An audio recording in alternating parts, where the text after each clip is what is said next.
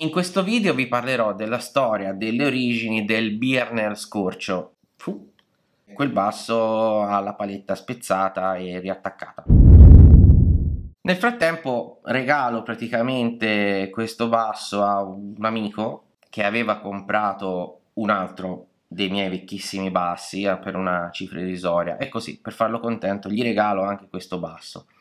Questo basso mi causerà un sacco di grane perché poi viene attualmente rivenduto nei vari mercatini di bassisti come Birner scorcio prototipo. In realtà è uno strumento che ha dei up tremendi dentro e la paletta rotta. Ora sto quasi cercando di ricomprarmelo per tenerlo io perché ogni volta è un problema con il nuovo acquirente di sto basso Forse nasce anche da questo basso la famosa leggenda degli strumenti pick up cinesi, perché qualcuno l'ha probabilmente aperto portandolo da qualcuno e visto che sono pick up brutti, ma quello non era un basso destinato alla vendita, quello era un basso prototipo per me di quando ero poco più che un ragazzetto.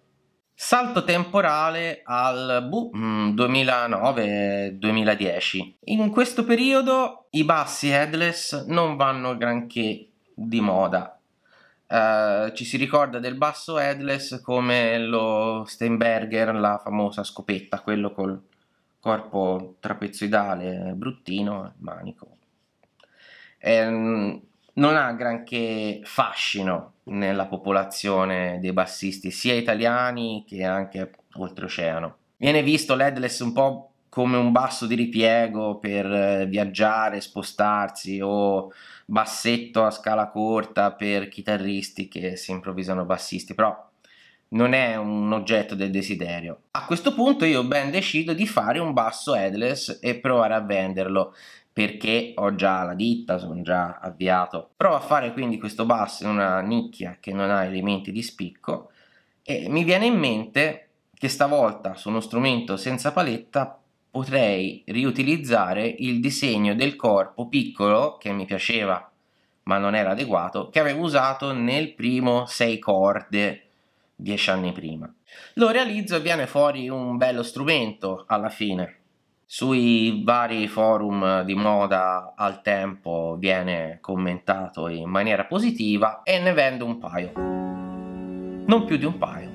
Per uh, almeno un anno o due no, non c'è richiesta. A un certo punto passo dalla scala 34 alla scala 32 su questo corpo quindi un po' più piccolo e incuriosisco qualcuno perché comunque è una novità, eh, nessuno in quel momento stava abbandonando la 34, comincio anche a evidenziarne un po' i lati positivi, la morbidezza, la facilità nello slap. E francamente inizia a piacere, iniziano le vendite.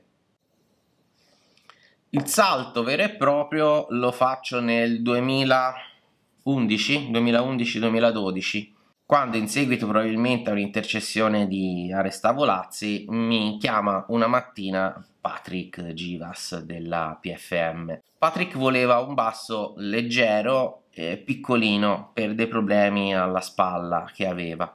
Contentissimo gli propongo lo scorcio.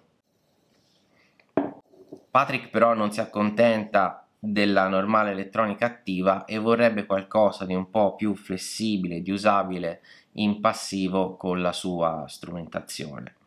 È da lì che ci mettiamo a creare quella che diventerà la quadra coil, che diventerà poi una delle opzioni più richieste per lo scorcio e non solo. In definitiva la quadra coil sono quattro bobine, due per pick up, che possono essere messe in serie parallelo e scelte fra interne e esterne, Beh, insomma c'è del calcolo combinatorio dietro. Ah. Comunque trovate una spiegazione un po' più dettagliata nel sito, leggetela ogni tanto, sono tre paginate di roba. Probabilmente anche col volano dell'esposizione dello scorcio nella PFM che al momento si stava rilanciando dopo grosso periodo di pausa con PFM in Classics, la richiesta dello scorcio aumenta, aumenta, aumenta tantissimo, fino a diventare senza dubbio il modello di punta, il modello più venduto tra i Biernel. Nel frattempo, in collaborazione con Adriano Magliocco, che è cliente, amico, architetto e disegnatore anche dell'Acme e dello Stige, altri modelli di bassi, disegniamo lo scorcio 34 altro non è che lo scorcio in versione 34 pollici, cioè la scala lunga normale di qualsiasi altro basso tipo Precision, eccetera. Lo scorcio 34 è una rivisitazione dello scorcio 32 con eh, un corno più lungo e il body leggermente diverso, non troppo snaturato, ma comunque con una personalità sua diversa. Beh, dove sta l'importanza, specialmente per me, di questo scorcio? È importante perché le vendite dello scorcio da sole finanziano la ditta, finanziano lo sviluppo, finanziano l'investimento su macchinari più precisi, legname e tutto quello che può servire. Infatti in questo periodo c'è una discreta evoluzione eh, sia stilistica che nella precisione delle lavorazioni perché comunque eh, al momento eh, sono arrivato a 200 solo per gli scorcio 32 fatti quindi anche l'abilità mia cambia di parecchio. A un certo punto succede che un cliente mi chiede uno scorcio 32 giallo e nero ma giallo e nero come, come, si può sfumare bene il giallo limone col nero? Mm, viene brutto. No, facciamolo allora senza sfumatura, proprio con un bel bordo nero. Questa cosa, mm, che lì per lì poteva sembrare un po' strana, poi a prodotto finito era infatti piuttosto carina e ricordava una Camaro, comunque una muscle car americana la classica Camaro Bumblebee. Infatti quella colorazione è proprio scorcio 32 Bumblebee.